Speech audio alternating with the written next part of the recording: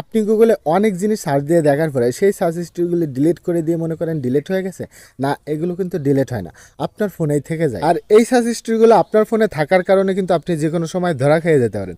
So কীভাবে আপনি এই সার্চ হিস্ট্রিগুলো ডিলিট করবেন? চলুন সেই প্রসেসটাই দেখে আসি। তার আগে আমার আইডিটাকে ফলো দিয়ে রাখুন। এমন সব ইম্পর্টেন্ট টিপস অ্যান্ড ট্রিক্সের ভিডিও কিন্তু আমি প্রতিনিয়ত দিয়ে থাকি, যা আপনাকে পরবর্তীতে অনেক কাজে আসতে পারে। তো প্রথমে আপনি আপনার ফোনের সেটিংসে চলে আসবেন। দেন এখান থেকে গুগলে ট্যাপ করে দিবেন। তারপর ম্যানেজার গুগল অ্যাকাউন্টে ট্যাপ করে দিবেন। দেন এখান থেকে ডাটা অ্যান্ড প্রাইভেসি একটা অপশন রয়েছে, এখানে ট্যাপ করে দিবেন। তারপর এখান থেকে স্ক্রল করে নিচে গিয়ে দেখতে পারবেন মাই অ্যাক্টিভিটি একটা অপশন রয়েছে, এখানে ট্যাপ করে দিবেন। তারপর এখানে একটু নিচে দেখতে পারবেন, আপনি গুগলে যা কিছু সার্চ করছিলেন সব কিছু কিন্তু এখানে শো করবে। সো এখান থেকে আপনারা ফিল্টার বাই ডেট এখান থেকে ডিলিটের উপরে ট্যাপ করে দিবেন। দেন এখান থেকে অ্যালাউ সিলেক্ট করে নেবেন। দেন নেক্সটে ট্যাপ করে দিবেন।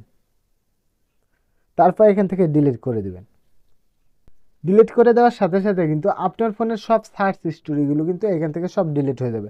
দেন এখান থেকে আপনাকে আরেকটি কাজ করতে হবে, এখান থেকে ব্যাক করে চলে আসবেন। তারপর এখানে দেখেন ওয়েব অ্যান্ড অ্যাপ অ্যাক্টিভিটি একটা অপশন রয়েছে, এখানে ট্যাপ করে দিবেন।